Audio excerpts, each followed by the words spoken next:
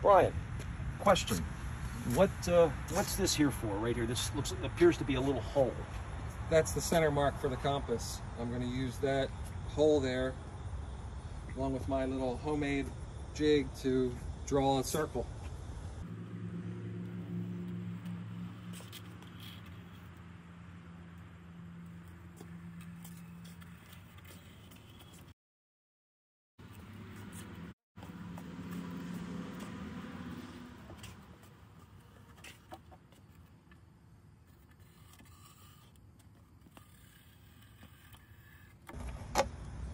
Wow, right Nice. on the money.